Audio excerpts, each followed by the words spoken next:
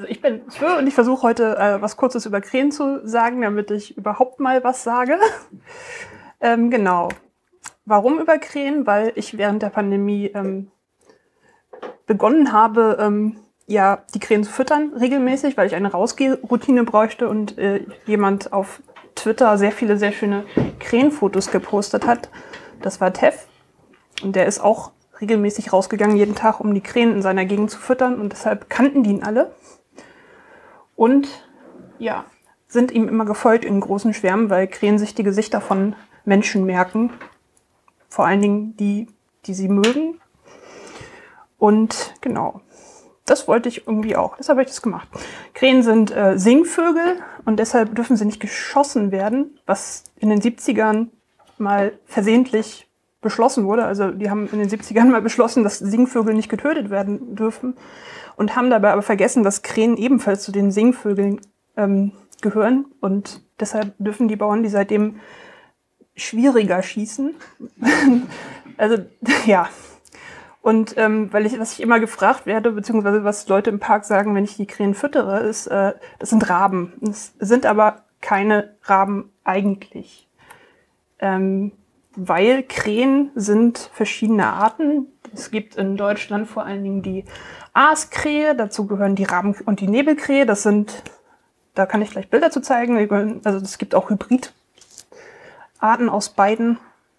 Und die Saatkrähe, die ist ein bisschen hässlicher. Und andere weitere.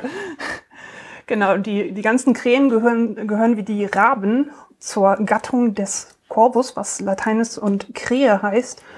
Und auf Deutsch heißen die Krähen und Raben. Die deutsche Wikipedia sagt, da gehören 42 Arten zu. Die englische sagt, das sind ungefähr 46. Und ähm, Experten haben die eingeteilt in Krähen und Raben. Ähm, in ungefähr die Krähen sind die kleineren. Also so eine richtige, ähm, so eine richtige Einteilung gibt es da irgendwie nicht. Ups, das war der falsche. Hm. Genau, das heißt also, die, ähm, die Krähen und die Raben gehören neben den Dohlen, glaube ich, auch zu den Krähen und Raben.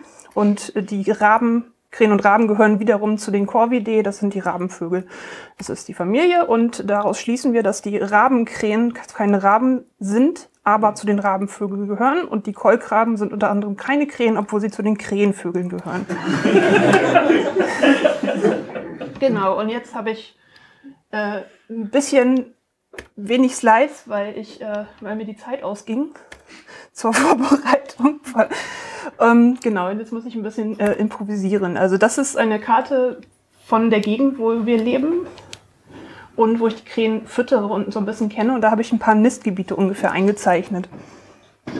Ähm, genau. Ähm, das ganz links, das blaue, das äh, zur Orientierung, das ist ungefähr 100 Meter hoch und die Kreuze sind ungefähr ähm, ja, Nester. Krähen ähm, tun sich immer zusammen zu Paaren, um sich fortzupflanzen. Überraschung. Und ähm, genau, die bleiben sich auch treu und ähm, das hält dann halt auch in der Regel bis an ihr Lebensende. Und die suchen sich zu zweit dann, beziehungsweise die haben zu zweit ein Nestge Nistgebiet, wo sie halt brüten und Junge bekommen. Und wenn die überleben, dann bleiben die häufig noch ein, zwei Jahre bei den Eltern und helfen bei der Aufzucht ihrer Geschwister im Folgejahr. Und ja, die Jungen schließen sich irgendwann den Jungvogelgruppen ähm, an und die fliegen halt so ein bisschen ja, durch die Gegend. Bei uns ist das so die Mitte von dem Leno Vogtpark, wo die Jungvögel halt rumfliegen, aber die sind eigentlich im gesamten Stadtgebiet unterwegs und die gucken immer, ähm, ob irgendwo in einem Nestgebiet ein Platz frei wird, also ob da ein, ein Partner gerade verstorben ist oder so. Und ähm, wenn ja, dann, ähm, ja, dann streiten sie sich darum, wer da jetzt hin darf. Ups. Genau. Krähen fressen alles. Krähen sollten aber nicht alles fressen. Weil, ja, gerade wenn sie halt irgendwie sehr viel Fastfood fressen, das fressen sie bei uns im Park sehr gerne, dann ähm, ist das schlecht für den Nachwuchs, weil die halt Vitaminmangel kriegen davon. Und ja, die haben unter anderem die haben dann unter anderem zum Beispiel verkrüppelte Füße oder sowas. Genau, ähm, jetzt wollte ich eigentlich Fotos zeigen, aber Fabi sagt, ich bin fertig, also äh, danke. Ich kann aber auch noch Fotos zeigen. Genau, das ist, das ist äh, zum Beispiel Diesel. Das ist eine aus dem ähm, nördlichen Gebiet bei uns. Den äh, Namen hat Diesel während, wegen Twitter, weil ich mich irgendwann verschrieben habe. Das ist äh, Shiny und Shiny ist eine von den Krähen, die mir aus der Hand frisst, was man da sieht. Da gab es bei uns ein kleines Kommunikationsproblem. Und immerhin hat sie Minus bekommen. Ähm, was man da bei ihr so ein bisschen sieht, ist, dass sie ähm, im Schnabel noch sehr, ups, noch sehr rote, ja, so ein, also man, das, das Innere des Schnabels ist noch sehr rot und das ähm, ist bei den jüngeren Vogeln so, ab so ab dem, ab einem halben Jahr Alter ist das, ähm, wird das halt erst dunkel. Daran erkennt man die Jungvögel und die sind halt in der Regel auch noch viel draufgängerischer. Das ist der Baum bei uns vor dem Haus. Da haben sie ein Nest gebaut, aber leider nicht gebrütet. Das ist eine Krähe, die mich besucht hat im Homeoffice. Das ist eine Nebelkrähe, was man sehr schön an dem hellen sieht.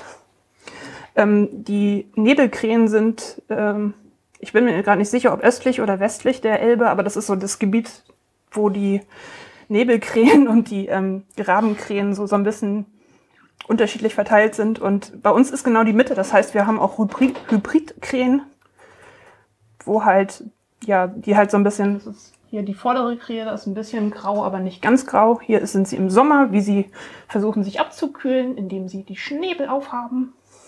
Fabi, du stoffst mich einfach irgendwann, ja? Okay, sehr schön. das ist eine Hybridkrähe, das ist Echo, wie sie im Baum sitzt und ganz schön aufgeplustert ist. Eine Krähe, wie sie sich putzt. Echo, wie sie aus meiner Dose Nüsse angelt. Noch eine Krähe. Noch eine Krähe. Eine weitere Krähe. ja, okay. Dann, äh, ja, Dankeschön fürs Zuhören.